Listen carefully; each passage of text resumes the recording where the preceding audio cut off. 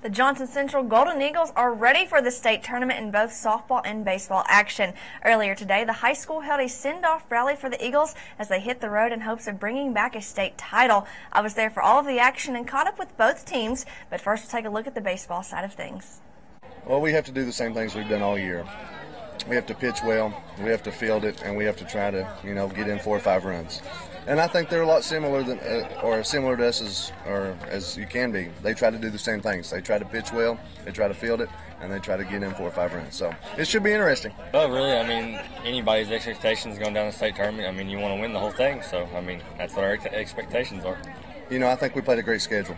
Um, and it was very tough. You know, when we made out the schedule, it was like, oh my gosh, what have we done to ourselves? It's going to be a terrible year. We're going to be 500.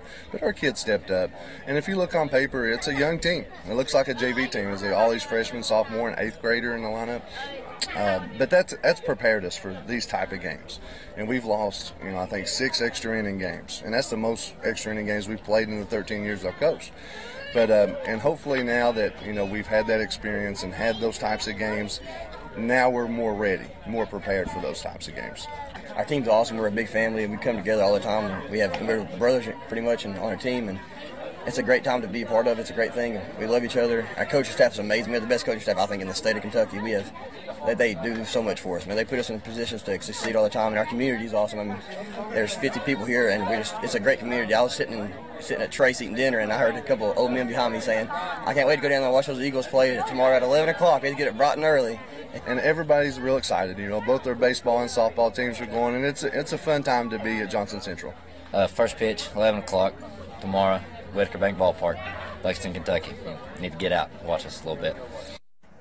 Just like Braxton Kelly said, first pitch is tomorrow at 11 morning at Whitaker Bank Ballpark in Lexington. And now for the three-time 15th region champions, the Johnson Central Lady Eagles. The girls and Coach Pierce are excited for another opportunity in Owensboro as they look to win it all. I'm expecting to be a little more together and calm this time. Um, we're not going to be awestruck. So um, I expect them to perform well. You know, we had our last practice today on our field. I've practiced on that field forever, and it just is a great feeling to be able to go down to Owensboro one last time with my friends. Uh, well, it means a lot because it's it's good going the first two years, you know, but the senior year, that's how you want to go out.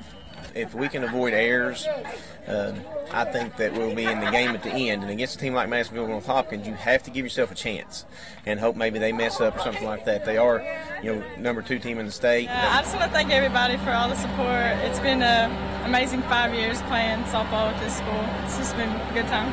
Thank everybody for everything, like all the support and everything. Like it's it means a lot. We're going to win state. That's our goal.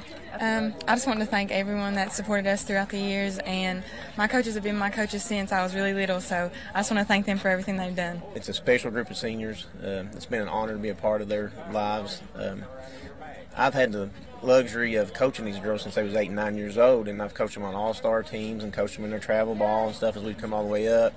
Um, so it's going to be tough to see them go. Um, they're gutsy. Uh, they've showed great leadership, and uh, it's been an honor to be a part of their, their road here. The girls will take the field tomorrow at 5 p.m. Central Time, 6 p.m. Eastern Time tomorrow afternoon from Owensboro as they face off with Madison North, Madisonville North Hopkins.